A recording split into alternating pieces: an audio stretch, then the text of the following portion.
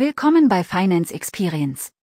Im heutigen Video sprechen wir über den neuesten Bericht des Internationalen Währungsfonds sowie dessen Forderungen, die Kosten der aktuellen Krise umzuverteilen und Steuererhöhungen in Form von Vermögensabgaben durchzuführen. Wenn euch diese Themen interessieren, dann bleibt dran. Schauen wir uns zuerst den IWF und dessen Aufgaben kurz genauer an.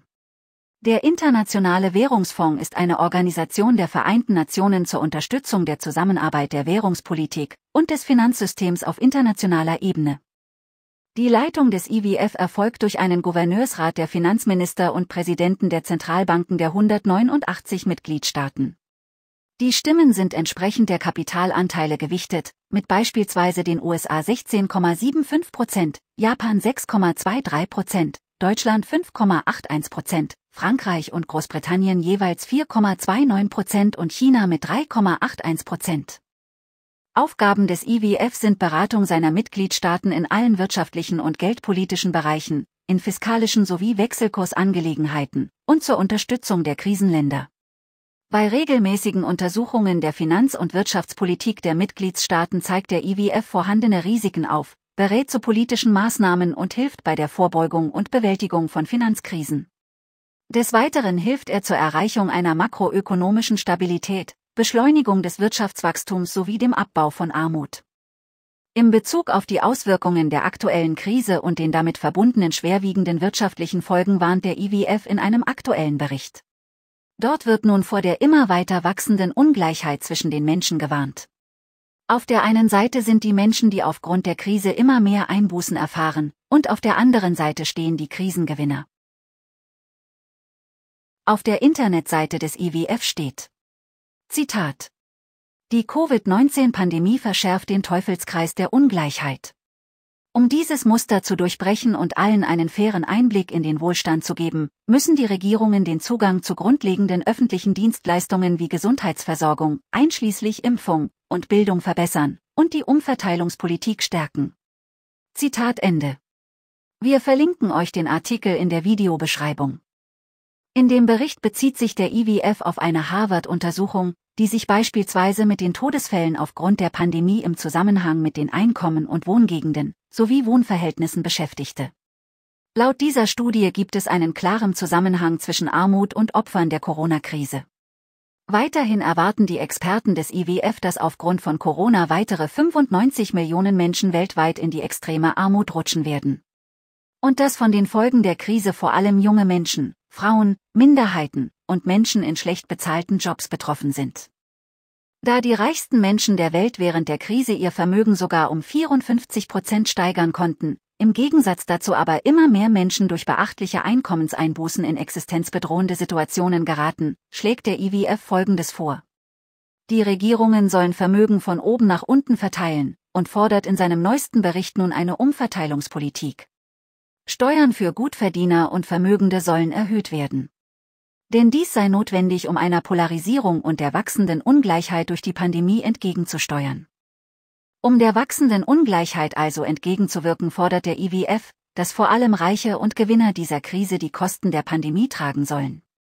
Neben einer Einkommens- und Vermögenssteuer fordert der IWF auch die Einführung einer vorübergehenden Zusatzsteuer für Menschen mit einem hohen Einkommen und ebenfalls auch für Unternehmen, die trotz Corona-Krise noch Gewinne erzielen.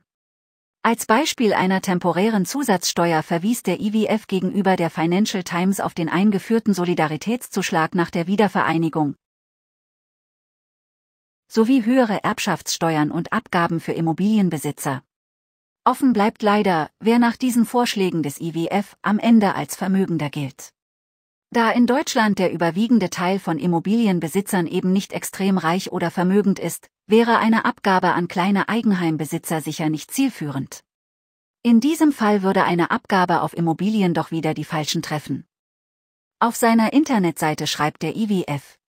Zitat um den Zugang zu grundlegenden öffentlichen Dienstleistungen zu verbessern, sind zusätzliche Ressourcen erforderlich, die je nach den Umständen des Landes mobilisiert werden können, indem die gesamte Steuerkapazität gestärkt wird.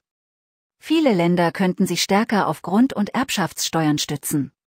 Länder könnten auch die Steuerprogressivität erhöhen, da einige Regierungen Raum haben, um die höchsten Grenzsteuersätze für das persönliche Einkommen zu erhöhen, während andere sich darauf konzentrieren könnten, Lücken in der Kapitaleinkommensbesteuerung zu beseitigen.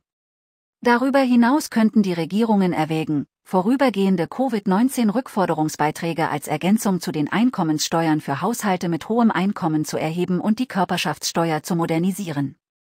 Insbesondere in Schwellenländern und Ländern mit niedrigem Einkommen könnten zusätzliche Einnahmen auch durch Verbrauchssteuern zur Finanzierung der Sozialausgaben erzielt werden.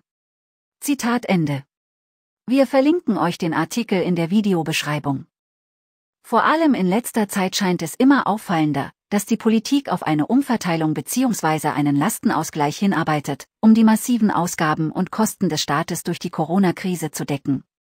Wir haben zum Thema Lastenausgleich bereits ein ausführliches Video gemacht, da die Bundesregierung bereits in 2020 prüfen ließ, ob ein Lastenausgleich in Deutschland rechtlich möglich ist. Wir verlinken euch das Video unten in der Videobeschreibung. Auch ehemalige und aktuelle Politiker fordern immer häufiger eine Vermögensabgabe oder einen Lastenausgleich. Wir haben hier mal ein paar bekannte Beispiele exemplarisch angehangen, aber hört selbst. Zum Beispiel schlug der ehemalige Vizekanzler Sigmar Gabriel im April 2020 einen erneuten Lastenausgleich nach Corona vor. Zitat. Unsere Eltern und Großeltern haben schon mal eine Lösung finden müssen, die nannten wir Lastenausgleich. Es kann schon sein, dass es zu einem solchen Lastenausgleich kommen wird. Zitat Ende. Auch SPD-Chefin Saskia Esken forderte bereits im April 2020 eine Lastenverteilung, in dem Wohlhabende eine einmalige Vermögensabgabe zahlen. Wir verlinken euch beide Artikel hierzu in der Videobeschreibung. Und auch Olaf Scholz verweist seit einem Jahr immer wieder auf höhere Steuern für Vermögende, um die hohen Kosten der Krise zu bewältigen, und wirft laut einem Artikel der Welt.de den Reichen unsolidarisches Verhalten vor. So berichtet die Welt.de. Zitat. Olaf Scholz wirft besonders wohlhabenden Deutschen in der Diskussion über eine stärkere Belastung hoher Vermögen unsolidarisches Verhalten vor. Gegenüber Welt am Sonntag sagte er, wir leben in einer Gesellschaft, in der es jene, die sehr reich und mächtig sind, zu oft schaffen, sich gegen eine faire Besteuerung zu wehren, indem sie so tun, als sollten auch all jene belastet werden, die nicht so hohe Einkommen haben. Das werde die SPD verhindern. Zitat Ende. Wir verlinken euch den Artikel in der Videobeschreibung. Zunehmend stellt sich also die Frage, was auf uns zukommen könnte. In diesem Zusammenhang ist auch fraglich, wer denn nun von derartigen Maßnahmen betroffen sein wird.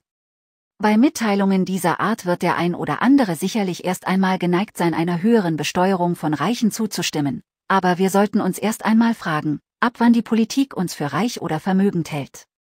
Denn trotz immer lauter werdender Stimmen zur Umverteilungen in Form von neuen oder höheren Steuern oder sogar einem Lastenausgleich drang von der Politik bisher wenig durch, wen solche neuen Steuern und Abgaben betreffen könnten.